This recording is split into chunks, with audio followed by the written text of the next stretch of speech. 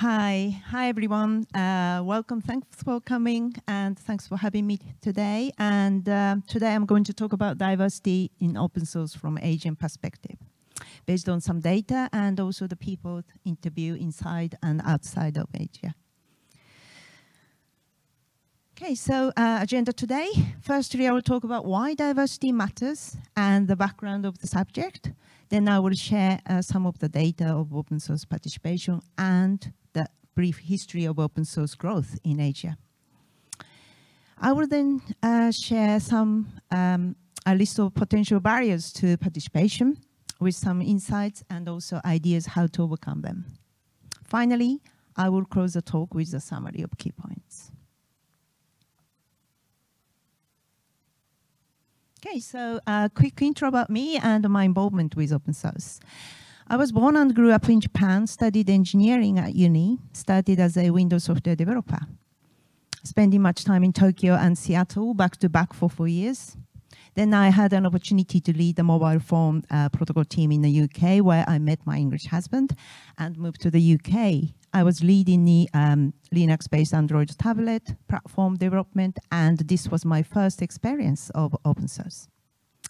Then I took a year out to look after my son, after which I changed my career from telecoms to cloud. Um, excuse me, leading multiple technical programs from IT through to business transformation. Moving up to date for the last four years or so, I've been working as a staff open source program manager at VMware's open source, uh, open source programs office, leading the uh, strategic alignment between the community contributions and the company's business strategies. Okay, so at first, let's look at why diversity matters. Many studies show a variety of perspectives and experiences create a richer and stronger community and produce more innovative solutions.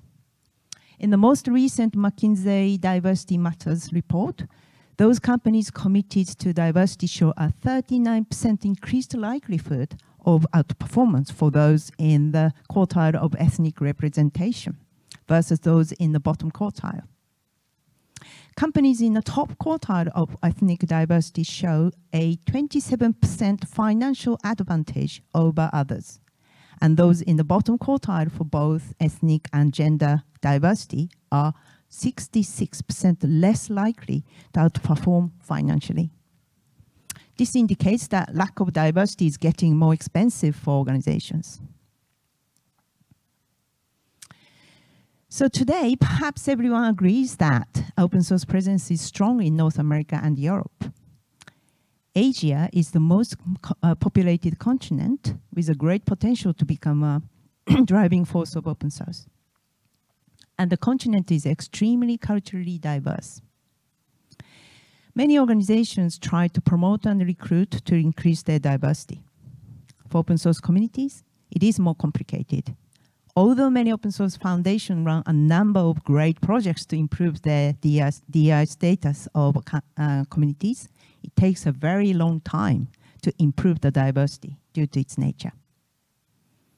In this talk, I'm going to identify factors that could impact the strong participation to open source in Asia. So when I first researched this topic two years previous, the number of open source developers in Asia was high and growing higher. But in the survey, we heard very few voices from them. And many open source communities said that they struggle to get strong participation from Asia, for example, in the leadership positions. The latest Octoverse 2023 report says that the de developer communities are growing bigger year over year. And India and Japan are leading leading the growth in Asia Pacific, and India still has the fastest growing developer population. So we have the great opportunity to adjust the balance even further. So just for reference, although the developer population from Asia is mainly from India and China, the region consists of over 20 countries, and many of them are positively engaged in open source, supported by the government, the communities, and the organizations who recognize the importance of it. And for the generative AI projects, the half of top 10 global communities that are creating them are from Asian countries. Open source history in Asia started with Linux, strongly supported by national governments. By early 2000, uh, open source was not yet well recognized in most Asian countries. Japan was an uh, early adopter of Linux and open source, with lead by NEC, Hitachi, Fujitsu, and help from Japan's Ministry of Economy, Trade and Industry. Many open source organizations were set up in Asian countries, as shown. Central government funding triggered and accelerated the adoption and increased awareness of open source in Asia. And many open source conferences are held every year across Asia. I've shown just a, a, few on the slide, and many of you must have already attended some of them, and many others too. So now we know a firm foundation for open source exists. Next, let's look at the geographical and social factors that could impact strong participation in open source. I cannot talk for all of Asia, but I have identified some key reasons that could explain the limited participation today. In the last months, I have interviewed a number of Asian colleagues, ex-colleagues, and community members and leaders. In the next few slides, I will share my findings so that together we can think of how to overcome The time differences and limitations are a significant factor in the participation with open source. In fact, this is common challenges to uh, this is common challenge to all regions. Async contribution is a common solution, but the research shows that more new members remain in the communities when they actively join the actual discussion rather than just just committing and committing code and creating the issues. From this perspective, for engineers in Asia, unfriendly meeting time could be a barrier to community participation. One of the steering committee members uh, commented that the lots of CNCF projects meeting time are too late for APAC regions. Sometimes I attended at midnight and this could be a huge barrier for those who are just starting at the community. And there were times I missed the late meetings and then woke up to see decisions have been already made without my input. It is challenging to organize a community meeting at social times for everyone, but we must be mindful and make an effort to be flexible. Another time-related challenge is making the time available for open source. In fact, most developers across all regions listed insufficient time as a significant barrier to contributing to open source project. The situation changes if you're allowed to work on open source during working hours or not. Or if you can afford spending time for open source outside of your core hours. This is also affected by regional cultures and other social aspects. I will cover this in a later slide. Language barriers have been mentioned by nearly all people I interviewed. It is probably the biggest barrier in Asian people, uh, for Asian people. Language can also be a challenge for other non-Asian countries whose English is not their uh, first language. Most people say reading and writing is fine, but it's still a barrier, especially when you're busy, as it takes extra time. The real challenge here is a real-time conversation in English.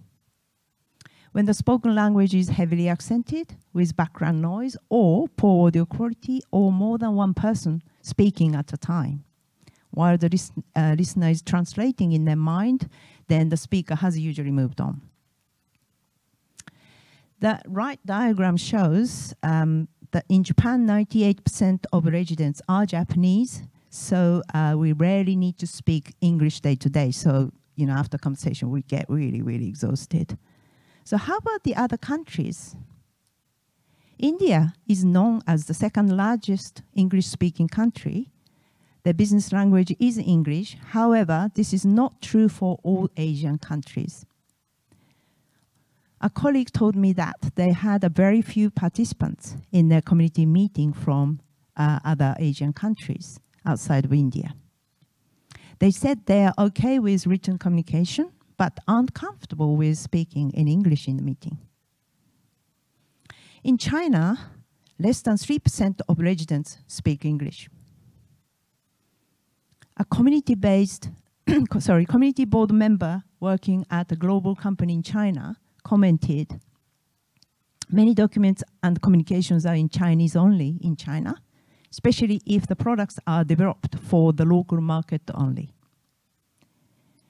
This may not be the case for the project led by global companies, but it cannot be ignored as a factor.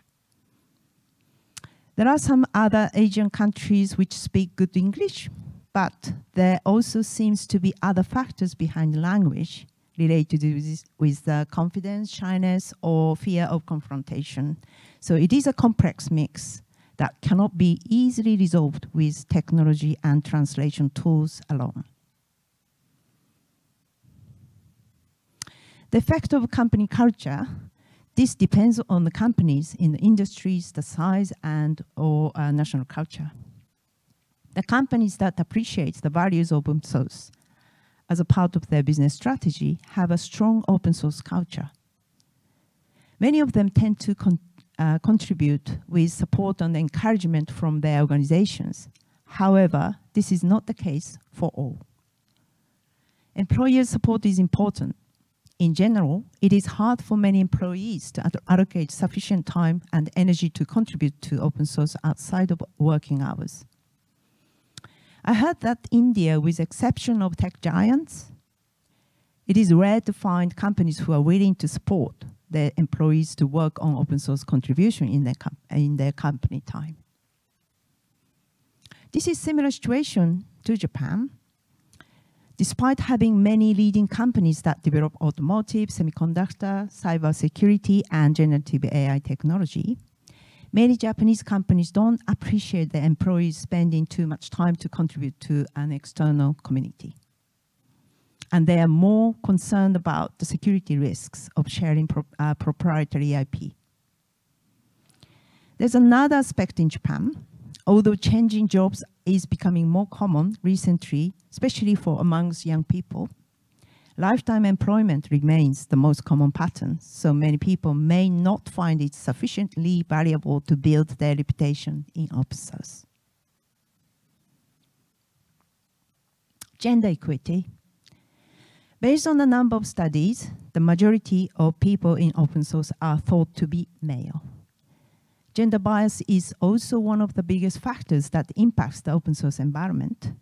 Unfortunately, it is well known that Asian countries rank lower than the West for gender equity.